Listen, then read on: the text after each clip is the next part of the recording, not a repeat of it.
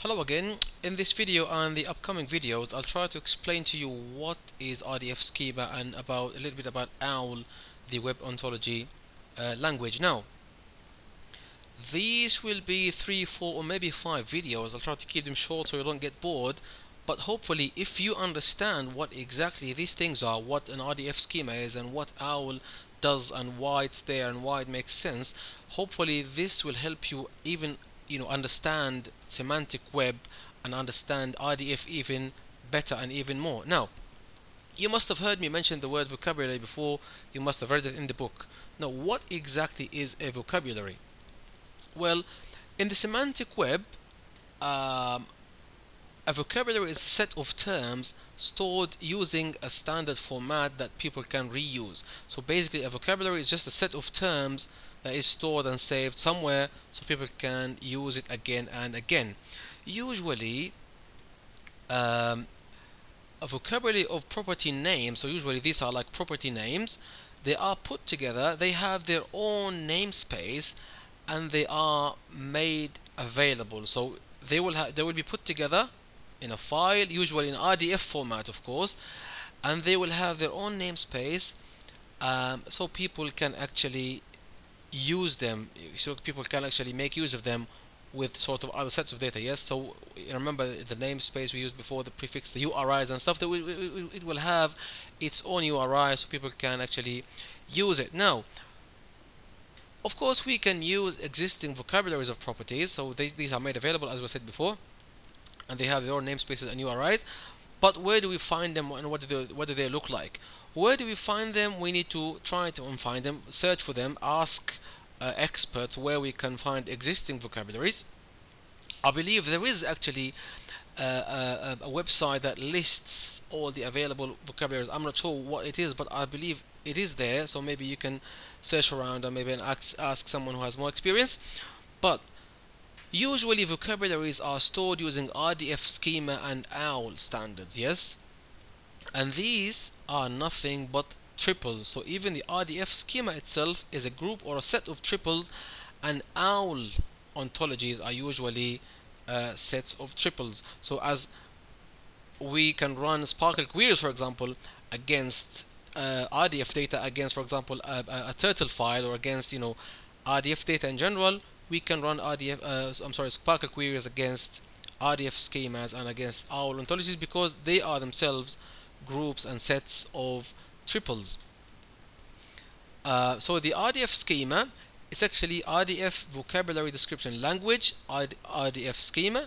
So imagine it's actually a description language for vocabularies. Yes, I hope that makes sense. So RDF schema is a description language for vocabularies. Yeah, they describe vocabularies. Now, it gives people a way to describe vocabularies as you can see. So now what happens is we describe these vocabularies with RDF. Again, using RDF, using the ideas of triples. Now, because they describe vocabularies, so we have data about data. Our vocabulary is a data, yes, it's a set of terms and then we describe that vocabulary or we describe that data. So we have data about data i.e. metadata. So RDF schema is usually metadata and this metadata is usually available for our access or it can be accessible using SPARQL as we can access data itself as we can access RDF data turtle format and turtle files and other formats. Hope that I hope that makes sense. So it's actually data about data. It's a data about vocabulary. So that's why it's called metadata now, we have, for example, a very famous one called Dublin Core. Uh, it's a standard, uh, I'm sorry, standard set of basic met metadata terms. So, the Dublin Core, we usually use it as a, uh, in our in our. You must have seen it, by the way, in, in one of our turtle one of the turtle files provided by the book. Uh, we use the DC prefix for DC for Dublin Core. It is actually a, a standard set of basic meta metadata terms. So we in there we can find some metadata terms that we can use to describe our own uh, uh, uh, uh sort of uh, vocabularies. Yes. Now, Dublin core is actually is you know, this not is this not the Dublin in Ireland by the way this Dublin somewhere in the United States let's have an example let's have a look at some examples uh, in this video we'll have one example only which is this file here from from the you know the examples provided by the book. Let me just remind you of the book. So this is the book we're using. You can go to sample code and you will find loads of uh, example files. The one we're using is EXO41 which is this one here. I'm sorry not, not, not 41 I think it's 42 rather than 41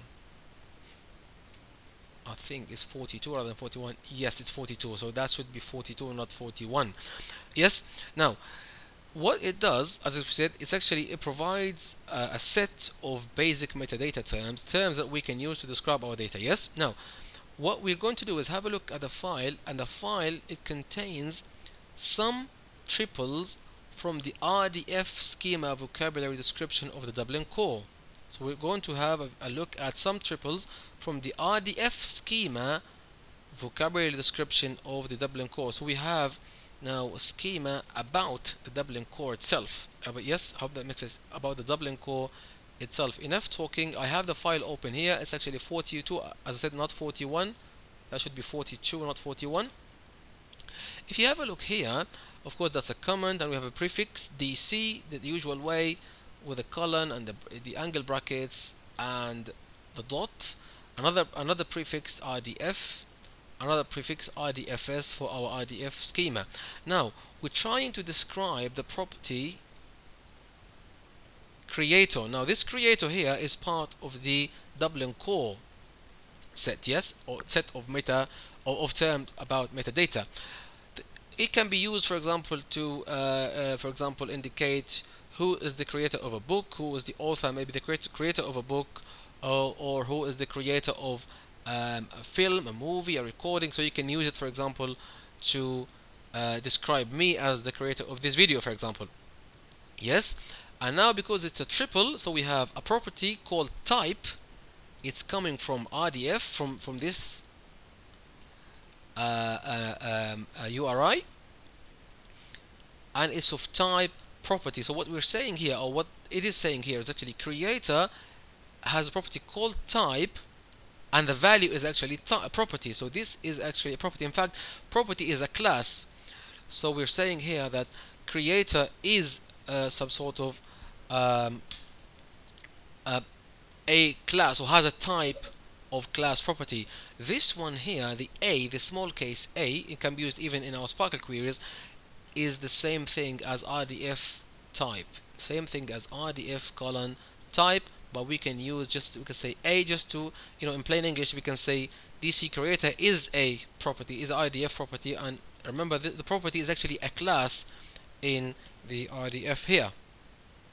And then from RDFS now because remember RDFS what uh, the RDF schema now if we go back to the definition it's actually a description language yes? So we in there we have the label which we used before for example to um, uh, uh, just add some label, one or more labels, you know, and then we tag it with the English tag, with the um, language tag, and then we specify the US English, and then we have another property called comment. If you want to add a, a simple comment, you is just an entity primarily responsible for making the resource da da da da, and then you can add the the English language tag as we did before, and then he's using the author of the book is using the short format, which is, uh, you know, where we don't have to repeat the subject we're going to repeat the predicate and the object values yes? So remember RDFS this the comment uh, property is from RDFS from the RDF schema. Label is from RDF schema. And creator is from the Dublin core uh, set of of uh, metadata terms.